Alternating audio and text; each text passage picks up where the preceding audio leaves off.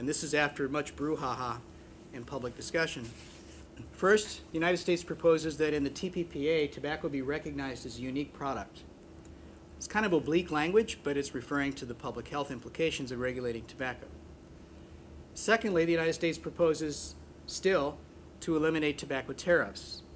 And they promise to contact all the countries with whom we, we do not have free trade agreements yet to get them to reduce their tariffs to zero, including Vietnam.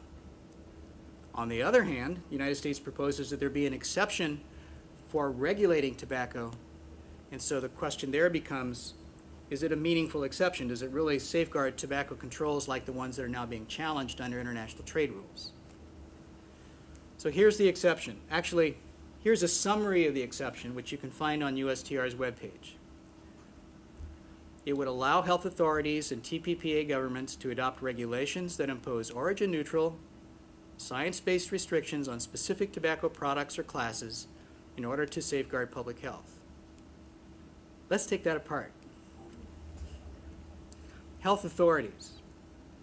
Well, this would not include other kinds of legal authorities such as customs, which would be federal, licensing, which would be state, taxation, which could be state or local, and consumer protection, which could be state or local. Think about the kind of tobacco controls you have in Maine and how many of them are issued by a health authority as opposed to these other kind of authorities. When Kay Wilkie, the chair of IGPAC, asked USTR the question of whether state and local governments are covered, the answer was very interesting. The first answer was, yes, they're covered by this exception. However, we should note that state governments are less likely to issue their tobacco regulations through health authorities, so probably most state laws on tobaccos would not be covered. But that's for the second reason, or actually I'll get to the third reason. Um, adopt regulations, it's not the usual language of a trade exception that refers to adopting or enforcing certain measures, so it appears not to cover enforcement of existing measures. Does that mean only pro measures that are enacted subsequent to the ratification of the agreement? That's what I think it means. So anything on the books has no validity. It covers regulations. This may be the, the biggest issue. Regulation does not mean legislation. It means that legal thing that a department issues, not what you adopt at the legislative level. So most state and local tobacco measures are legislative.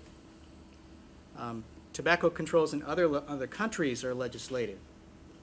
U.S. Tobacco Control Act, the act passed by Congress in 2009, which was recently challenged in the WTO, we lost, by the way, that was legislation.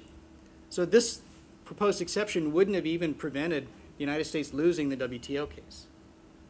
It's designed only to implement future law, regulations written by the U.S. Um, Food and Drug Administration to implement that 2009 law. This was a question I asked in the comments I sent to you, but does that mean that regulations that are written to implement legislation are also invalid? No, it means the regulations are covered, but the legislation itself might not be. So I'll give you an example. In the 2009 Act, there's very broad delegation from Congress to the federal agency, and Congress says, agency, here's a basket of things you can do. You can set restrictions on tobacco sales or tobacco marketing are the contents of tobacco products without defining a standard for regulation in any of those areas. So the, the legislation itself delegates authority, but it doesn't adopt a standard. So that legislation is not likely to be challenged. It would be the agency rule that actually puts the teeth into the tobacco companies, that's what would be challenged. On the other hand, there was a piece of the 2009 law that actually set the rule, and that was Thou shalt not use tobacco flavorings. Here's a list of 90 flavorings.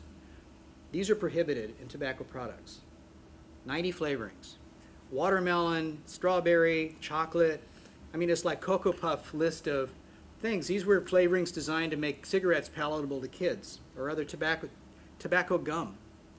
I mean, all kinds of exotic and, and disgusting products that were made to taste sweeter and milder and stuff that kids would want to consume. Kids, teenagers, young adults. Uh, the, the, the problem with that legislation was that it excluded menthol while covering everything else, including clove flavoring, and that's what led to the trade dispute. And the WTO ultimately found that protecting menthol, but then knocking out the Indo- Indonesian clove cigarette flavoring was uh, de facto discrimination. Let me bring you back to the language. This exception covers measures that are origin neutral. Now, this is designed to avoid the problem in the clove cigarette case because Congress didn't single out Indonesia for less favorable treatment. They just said, we're going to ban clove flavorings. Sort of an accident of classification, right? Um, the problem with origin neutral is that just like the national treatment rule, it could mean de facto origin neutral, neutral as well as it could mean literally origin neutral. So if you want to make this clear, you would say facially origin neutral to get around the arguments that it that discrimination could be uh, interpreted as de facto or effective discrimination. Science-based. Uh, this will be the subject of numerous law review articles. What does it mean science-based? The problem with this reference is that it could be interpreted a number of different ways.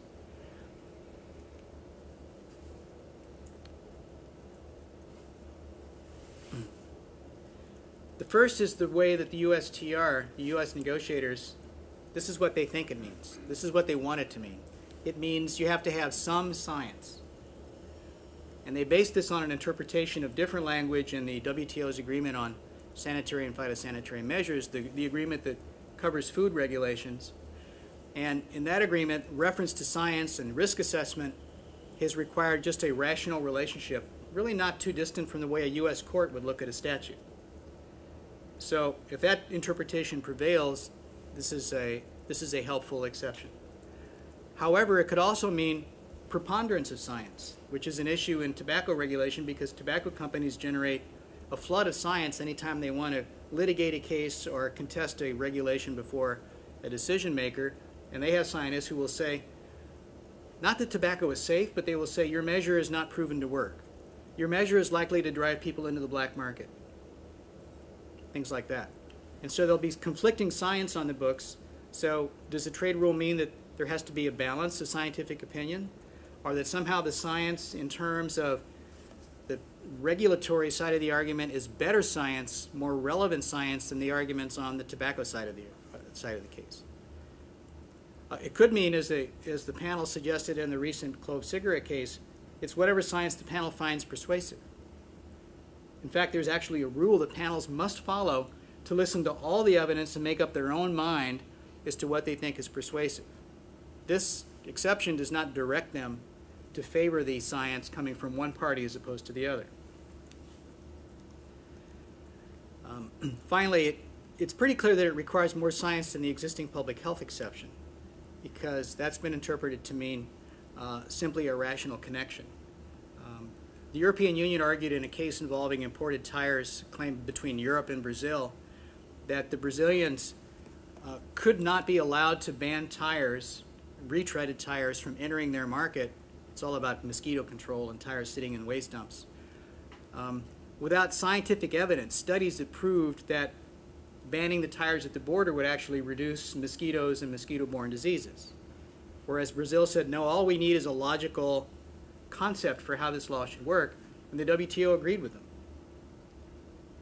So the WTO rejected a science-based argument in the Brazil tires case with respect to the need for scientific evidence. And here, this exception, this exception is requiring the very argument that the Europeans lost in the Brazil tires case. That's enough. I could go on. There's more details about how this works. Um, question is, what would you like to do about this debate? Are there any oversight questions that you think might be more effective coming from you? On the one hand, you've got the tobacco companies pressing to be left alone. You've got screaming and yelling coming out of states like North Carolina, Virginia, and Kentucky from the tobacco growers who very much want their tariffs reduced so they can expand their markets. And they're, they're really banging on the administration for risking American jobs if they don't extend this, the benefits of zero tariffs. So that's one side of the argument. On the other side of the argument, you've got pub, public health advocates like Tobacco Free Kids, the American Medical Association, the American Academy of Family Phys- Physicians, and six other academies or uh, organizations of doctors, the American Cancer Society, the American Lung Association. They're all ganged up on the other side. The administration's in the middle looking at this as a, one of those moments of, oh boy, I get to stick my finger in the electric socket and get shocked by both sides. And so as you can see, they've come up with a proposal that tries to split it down the middle. Does that make sense to you? You're politicians, some of you. So it's almost like all the different ways that government tends to operate to address problems at a local level are being undercut. In the clove cigarette case, Congress did exactly what you described. They confronted the issue that tobacco flavorings were being used to expand the market. They saw all these flavorings coming that were addressed to kids. So they considered banning everything. And guess what? They got pushback from the tobacco industry that said, wait a minute, there are 35 million Americans hooked on menthol. I'm not sure quite what the number is, but a large percentage of the smoking population, which is addicted to tobacco, to tobacco prefers their dose in a menthol cigarette. So they were pushing back on really, they, they had a public health argument. They said, you'll be forcing people off of menthol and they're addicted. This is the industry saying people are addicted, and so it's a bad thing to take away their menthol. I, the, the, the argument has to do with uh, disrupting the, the addiction balance in the U.S. smoking population. So, because of that, and because of the sheer economic weight of the industry that didn't want to see menthol banned in the United States, Congress said, all right, we're going to ban all this new stuff the chocolate cigarettes, the strawberry cigarettes, the watermelon cigarettes, all the stuff. It's clearly aimed at kids. What do we do with cloves? Well, kids slightly prefer cloves to menthol. They did the marketing studies, so there's a few percent difference. We'll put cloves in the box of stuff we're going to ban. And besides, nobody makes cloves in the United States, and so they weren't being lobbied. The Congress was not being lobbied by the clove industry like they were with the menthol industry. And so they did exactly what you described. They did an incremental change, responding to lobbying, which is what legislatures do. They compromised, and the compromise was well, you think it was origin neutral with respect to cloves? That's the buzz about this decision. Um, it's the WTO basically saying you've got to be logical and consistent when you adopt legislation. And it's not logical to ban cloves but not menthol it's political, but it's not logical. They're making that distinction. Well, which logic prevails in this legislature? When the United. States won a c- claim against Europe on banana trade, you didn't know America was the biggest banana exporting country in the world, but we are. Because American company, Chiquita Brands, based in Cincinnati, owns a number of fruit companies or has contractual relationships in Nicaragua and other places. And so we won a trade dispute over bananas, and we put sanctions on English lithographs and German soap. So guess who lobbied the European Union to, to cave and make settlement with the United States? It was the people who are hurt by it. That's the way the sanctioning mechanism works. So that's a long answer to your question. There are sanctions behind the trade rules, and the sanctions lead to intense political lobbying to make the pain go away Whereas in the case of the tobacco controls, there's no sanction. It's just a call to adopt these, you make a commitment to adopt these measures because you want to for the public health of your own country. I sort of turn that question that you posed to the commission around and to you. Sure. And saying, what do you think is the effective role that a commission like this could have on this issue? Well, what if you think the exception is really very, very narrow, as I've described it as being, chock full of holes? Well, if, if you could make the exception robust, so that it really did safeguard future tobacco regulations or legislation, including laws you might adopt, that's a different trade-off. How do you feel about morally and politically saying we're going to ask other countries to zero out their tobacco tariffs, while at the same time giving every country enough space to adopt robust regulations that are designed to suppress tobacco consumption? So you all export as much tobacco as you can, while on the other hand, we're going to encourage countries to develop their regulatory frameworks to suppress the trade that we're encouraging you to grow. The question is whether you think of tobacco policy as a Maine issue or, uni- or a United States issue. If you're willing to think of it as a United States issue in which Maine is a stakeholder, having been party to the initial litigation and the master settlement agreement, then you might care that there are things that the tobacco companies have threatened that could be used against the United States as a whole. I'll give you an example.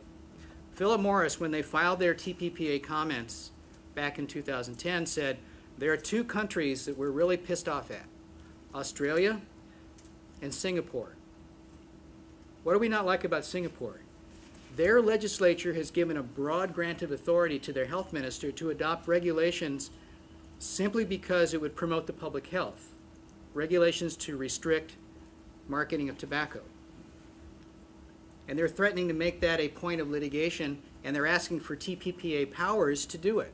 Why else would they mention it in their comments to USTR about the TPPA?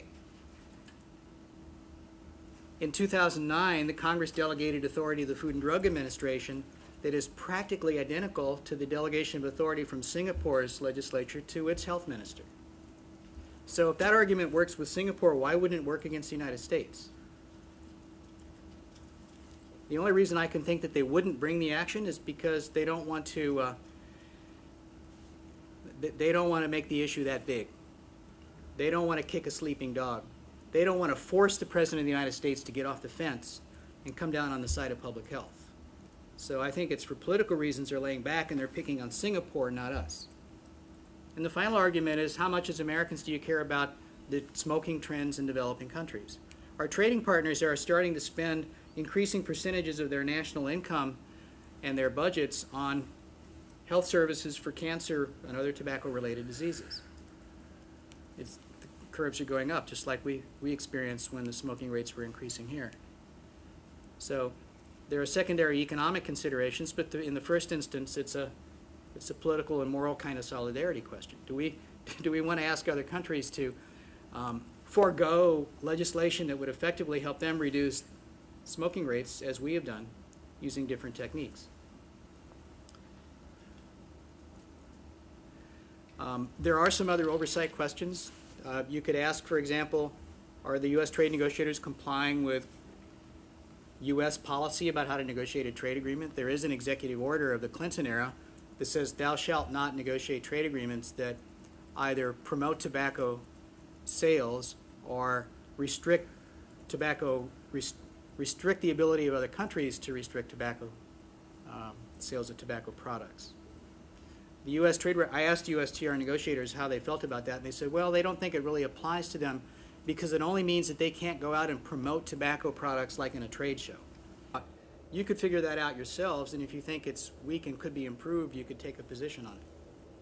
And say, I "Here's guess what we that, think." that would be my concern, Professor, because I'm very much opposed for us to go the other way on the tobacco products. And that, that really concerns me if it's going to weaken our stand on tobacco in this country, in the state of Maine, then I think we need to take a stand on, on, on it. Uh, I guess that is my big concern. That's why I was for putting tobacco on this list. So this proposed exception is sort of the classic compromise in many ways.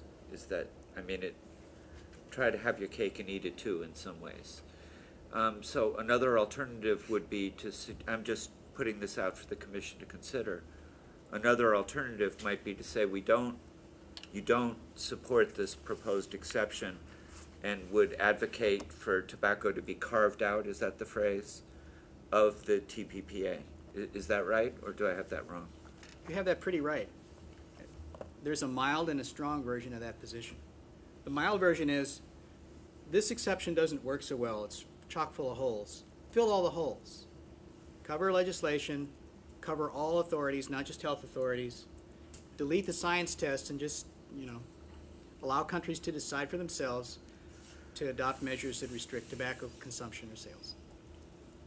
Uh, make it self judging, in other words. You could fix all those holes. It still is not as strong as it could be. The more robust version would be to say, take tobacco out of the entire trade agreement. It's really a special product. It really shouldn't be in this trade agreement. We're not saying government should do anything about tobacco except don't give it the benefits that every other company and every other sector is getting from the trade agreement. Hold it aside, do no harm.